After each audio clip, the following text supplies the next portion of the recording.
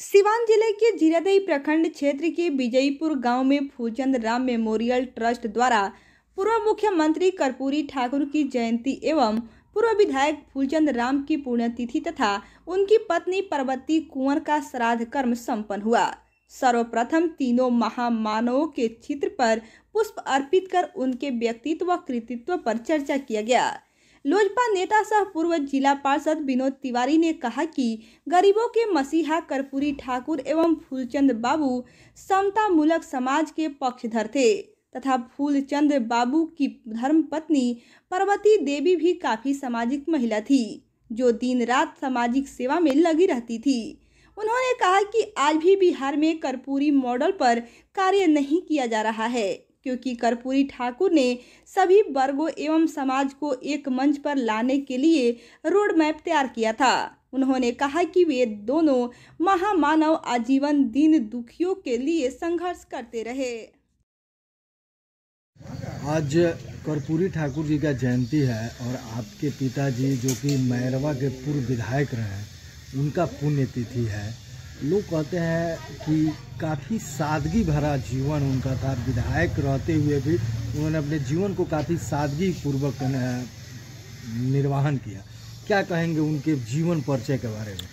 देखिए, फुलचंद राम बहुत गरीब परिवार से मजदूर परिवार के थे और बहुत गरीबी और बहुत, मैंने संसाधन के अभाव में भी वो इतने उच्च स्तर के नेता थे कि उनको बीपी सिंह देवीलाल जॉर्ज फर्नांडिस, ये सारे लोग उनको बाई नेम जानते थे। और वो हमेशा दलित, शोषित, समाज के वंचित लोगों के लिए जीवन भर काम करते रहे। मुख्यमंत्री नीतीश कुमार जी, लालू यादव जी, सारे लोगों से बहुत सीनियर नेता थे। और उन्हों, उन लोगों लोग भी उनको फुलचंद भाई कह के ही बुलाते थे। और कर्पूरी जी के तो बहुत प्रिय थे। मैंने आज उनका पुण्य तिथि है और कर्पूरी जी का जन्मदिन है। कर्पूरी जिस दिन हमारे पिताजी का देहांत हुआ था तो दोनों आदमी का साथ साथ लोग मना रहा था। एक तरफ़ पुण्यतिथि मना रहा था और एक तरफ़ जन्म दिवस मना रहा था।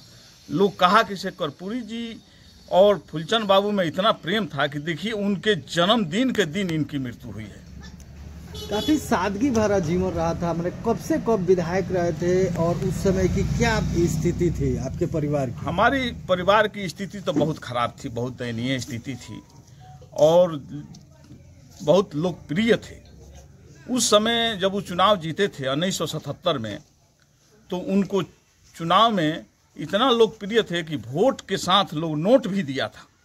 उनको कम से कम तेरह चौदह हज़ार रुपया उस समय उनको लोग बैलेट बॉक्स में पैसा डाल करके दिया था। और विधायक बनने के बाद वो साइकिल से चलते थे। ये इस तरह के विधायक वो थे। कितने वर्षों तक विधायक रहे थे? तीन साल तक वो रहे विधायक। तीन साल किन की सरकार थी उस समय? उस समय जनता पार्टी की सरकार थी कर्पूरी ठाकुर चीफ मिनिस्टर थे। उन्हीं के अध्यक्षता में सरकार बनी थी। उनके जीवन का कोई ऐसा सीख जो आपको बचपन में दिया करते थे अगर कोई ऐसा है तो साझा कीजिए। पिताजी का जीवन का सीख तो हमको बहुत मिला है। बहुत सारा चीज़ हमको बताते थे और उन्हीं के बताए उपदेश पर हम आज भी चल रहे हैं। क्या संदेश देंगे? आज उनकी पुण्यतिथि है तो समाज के जो लोग हैं, क्षेत्र के लोग हैं, उनको क्या संदेश देंगे? संदेश मेरा यही है कि सच्चा और ईमानदार आदमी को आगे बढ़ने में बहुत कठिनाई होता है। लेकिन उसका जीवन का जितना भी कार्यकाल होता है, वो सराहनीय होता है। इसलिए ईमानदारी से और समाज के लिए दलित, शोषित जो वंचित हैं उनके लिए काम करना चाहिए। आपके नज़र में जो आज की राजनीति है जो तड़क भड़क और चमक है और आपके पिताजी के समय की राजनीति बिल्कुल सादगी की थी तो क्या अंतर है इसमें? अंतर तो बहुत है। आज और उस समय में ये अंतर है कि हमको पिताजी बोले कि तुम राजनीति में मत जाना। काहे कि राजनीति अब अच्छे लोगों के लिए नहीं है।